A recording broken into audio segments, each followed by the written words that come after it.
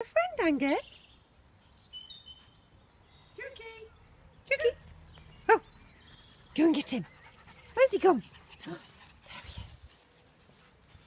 Oh, look at you. Are you friends? Yes. Are you tired? Go on then. He says, I want to play. Angus, come and play. Why won't you come and play? Why are they from there? Silly things.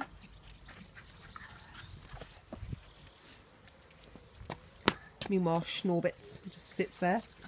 I know. I'm so sensible. She's sensible. having everything taken off. I'm sick of trying to dry her beard and, you know, it hangs in all the dirt.